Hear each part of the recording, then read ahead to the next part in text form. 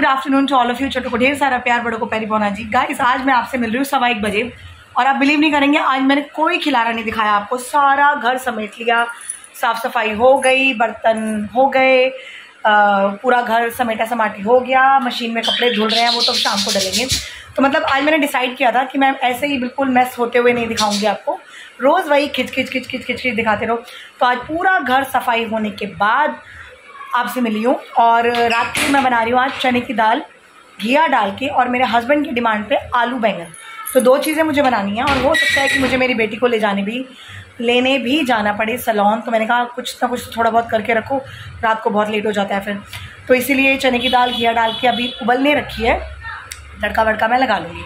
और आज मैं आपको बताऊँगी एक बहुत ही सिंपल होम रेमेडी से बना हुआ face scrub for the oily skin for the summer season it is very very very effective तो स्क्रब हफ़्ते में एक बार करना है तो आप कभी भी टाइम निकाल कर यार अब तो छुट्टियाँ हैं बच्चों की तो मैं अपने लिए टाइम निकाल रही हूँ तो सोचो आप लोग भी निकाल सकते हो। तो एक्चुअली मेरे पास टाइम की बहुत ज़्यादा शॉर्टेज होती है इन, इन कामों के लिए। तो अभी आरफ का स्कूल नहीं है तो आई थॉट कि चलो जो जो करके दिखा सकते हैं दिखाओ। तो अभी मैं अपने लिए पहले ग्रीन टी बना के लाई हूँ काम खत्म होते ही आप ये देखिए। ये है मेरी ग्रीन टी तो ग्रीन टी पीने के बाद दस मिनट बाद मैं आपको दिखाऊँगी फेस पे स्क्रब जो होम रेमेडी से बना है और ऑयली स्किन के लिए समर सीज़न में एक्सीलेंट स्क्रब है। तो वेट एंड वॉच मैं आपको ब्रूनो की एक हरकत दिखाती हूँ, देखिए इस जंगली को। ये देखिए गाइस इसने क्या किया, मैं आपको दिखाती हूँ, अभी लड़ रहा है मेरे से वेट आई शो यू ये आपको एक टुकड़ा दिख रहा होगा। ये टुकड़ा कहाँ से निकला है? ये देखिए, इसको एक बॉल ला के दी थी, इस गधे के बर्थडे पे। बकरी, पीछो इसने ये बॉल का देखो क्या हाल किया, आप देख रहे हो? पूरी बॉल इसने तोड़ मारी है।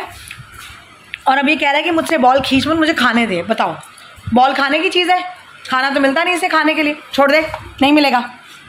दोनों नहीं मिलेगा। लीव देखो अरे राम, इस लड़के ने पूरा बॉल खोल दिया है। बदतमीज और टुकड़े खा रहा है उसके निकाल के। इस ब्रूनो की मस्तियों के बाद अब मैं आपको बताती हूँ स्क्रब फेस स्क्रब जो घर में, आप गर्मियों में लगाएँगे, ये है एक पाउच कॉफ़ी का। कॉफ़ी में मैं डालूँगी स्क्रब के लिए दो चार बूंदे लेमन की।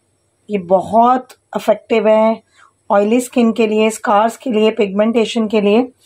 और ये आपको हफ़्ते में एक ही बार करना है। कॉफ़ी में डाला हमने नींबू और अब मैं डालूँगी इसमें चीनी। चीनी आपको वो डेली यूज़ वाली मोटी चीनी ज़्यादा नहीं लेनी, क्योंकि उससे स्किन पर असर होता है, छिल सकती है। तो ये चीनी का बुरा आता है। मैंने ये डाला है। अगर आपको के पास घर में ना हो तो आप चीनी को पीस लीजिए, बस। ये तीन चीज़ें आपको डालनी है। कॉफ़ी लेमन और चीनी का बूरा। मैं दोबारा से बोल रही हूँ, जो मोटी वाली चीनी हम डेली में यूज़ करते हैं, वो नहीं यूज़ करनी। उसकी जगह आप उसका थोड़ा सा पाउडर बना लीजिए, वरना स्किन पे दरदरा निशान, या अगर सेंसिटिव स्किन है मेरी तरह तो रेड रेड मार्क्स हो सकते हैं। बस ये तीन चीज़ें आपको डालनी है। ये आपका होम मेड स्क्रब रेडी है, और इसको आपने अपवर्ड डायरेक्शन में, ऊपर की डायरेक्शन में अप्लाई करना है। मैं आपको दिखाती हूँ। गाइस देखिए, मैंने हेयर बैंड काट लिया, क्योंकि बाल गंदे नहीं होने चाहिए, और अब मैं जो स्क्रब करूँगी मैं आपको दिखाती हूँ, बस दो मिनट दिखाऊँगी। ऐसे आपने लगाना है और अपर डायरेक्शन में, ऊपर की तरफ़। धीरे धीरे स्क्रब करना। अगर आपको ये ज़्यादा थिक लगे तो आप इसमें थोड़ा सा लेमन ड्रॉप और ऐड कर सकते हैं। तो इस तरह से करते हुए आपने पूरे फेस पे मसाज करनी है और पानी से धो लेना है। और ये स्क्रब अप्लाई करने के बाद साबुन वगैरह नहीं लगाना। तो चलिए करें हम अपना स्क्रब गाइस फाइनली मेरा face scrub session is over और स्क्रब करने के बाद मैंने हल्का सा क्या बोलते हैं उसको टोनर लगा लिया था ताकि जो ओपन पोर्स होते हैं वो क्लोज हो जाएँ। तो बस अब हो गया मेरा काम, सिर्फ़ नहाना धोना रह गया। और कल जो भाजी बनाई थी, आप बिलीव नहीं करेंगे, इतनी टेस्टी और मैंने इतनी सारी बनाई थी, बचा क्या है ये देखिए। बस ये बची है पूरी भाजी में जो कढ़ाई भर के बनाई थी और ये अब खाने लगा और इसके लिए मैंने बनाई है छोटी सी एक परौंठी। तो बस अब ये भाजी के साथ परौंठी खाएगा। और मैंने बना लिया है रात के लिए आलू बैंगन ऑन माई हस्बैंड्स डिमांड क्योंकि आज उनका बहुत मन था। आई आई आई आई आई, गरम गरम आलू बैंगन खाने का तो उनके लिए मैंने बना दिया है कि अगर बाई चांस मैं लेट भी हो जाऊँ तो खाना लेट ना हो। और गाइस ये देखिए ब्रूनो के लिए खिचड़ी बन गई। तो मतलब I am too good in my speed है ना? मानते हैं ना आप मेरी स्पीड बहुत अच्छी है काम करने की। तो चलिए अब हम सबको खाना वाना देते हैं फटाफट और फिर नहा के आपसे मिलते हैं। गाइस फाइनली हमारे स्टूडेंट्स आ गए हैं और मेरा रात का खाना भी आज बन के रेडी हो गया। बहुत टाइम से क्योंकि मैंने आपको बताया था कि बेटी को लेने जाना हो सकता है। और अब बन रही है गर्मा गर्म चाय। तो ये देखिए। गर्मा गर्म चाय, और मिलेंगे आपसे शाम को। गाइस फाइनली टाइम हो रहा है साढ़े सात, और मैं पढ़ाकर हो गई हूँ एकदम फ्री और आज मुझे इतना इतना फ्री लग रहा है। फ्री मुझे आई फ्री मुझे इसलिए लग रहा है क्योंकि आज मेरा ना खाना बनाने का टेंशन खत्म हो गया। मुझे रात की टेंशन नहीं है कि ये बनाना है, वो बनाना है। सब कुछ बना पड़ा है, बस चावल बनाने वो फटाफट बन जाएँगे। तो आज मैंने अपना काम खुद ही सवार लिया मतलब समेट लिया। और बच्चे भी आज टाइम से पढ़कर चले गए, छुट्टियों पे चल रहे हैं यार, बहुत सारे बच्चे तो। और अभी जा रहे हैं हम बाज़ार अंडा, ब्रेड वगैरह लेने के लिए और परफ्यूम भी खत्म हो रहा है, वो भी लाना है। तो ब्रूनो अपना रेस्ट करेगा आराम से और हम माँ बेटे दोनों घूम कर आएँगे स्कूटी पर जाकर। मुझे आरब के साथ बैठकर घूमना बड़ा अच्छा लगता है, सच में। तो देखती हूँ स्कूटी वो चलाता है या मैं, लेकिन हम दोनों घूम कर ज़रूर आएँगे। गाइस देखिए, मैं आरब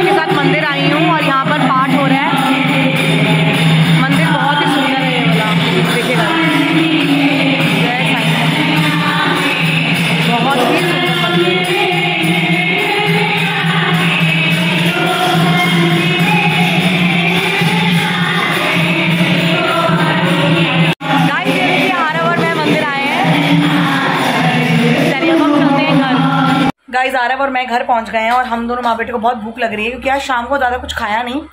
तो दाल चावल बन चुके हैं। दाल चावल पे हो रहा है धावा बोल यानी आक्रमण। अभी मेरे हस्बैंड भी नहीं है और आज बेटी भी बहुत लेट हो गई है।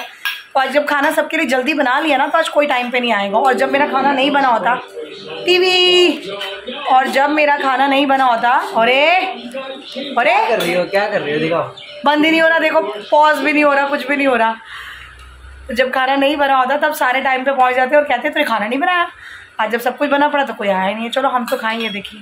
देखिए गाइस दाल एंड चावल और दाल ना बहुत टेस्टी बनी है चने की दाल घिया डाल के वेरी ऑसम गाइस फाइनली बेटी भी आ गई हस्बैंड भी आ गई पर बेटी पहले आ गई थी हस्बैंड बाद में आया है जस्ट अभी थोड़ी देर पहले साढ़े ग्यारह हो रहे हैं। देखो आपको टाइम दिख रहा होगा ना तो अब मैं करी हूँ ब्लॉग एंड क्योंकि अभी ना ब्लॉगिंग का टाइम नहीं है नहीं तो सारे गुस्सा हो जाएँगे। हम आए, ये लग गई ब्लॉग में। वैसे ना, गुस्सा तो खैर कोई नहीं करता। सब मुझे ये कहते हैं कि तू ब्लॉग बनाती रहे, तेरा टाइम पास होता है तेरा स्ट्रेस आउट होता है। तो मुझे मुझे एक्चुअली अच्छा ही बड़ा लगता है। मैं सच बताऊँ, ये ब्लॉग्स बनाना और ये बच्चों ने एक वो इंस्टाग्राम में रील्स बनाने का वो जो भूत सवार कर दिया ना, मैं भूत सवार किया यार, मुझे टाइम ही नहीं मिलता, मैं सच्ची बताऊँ।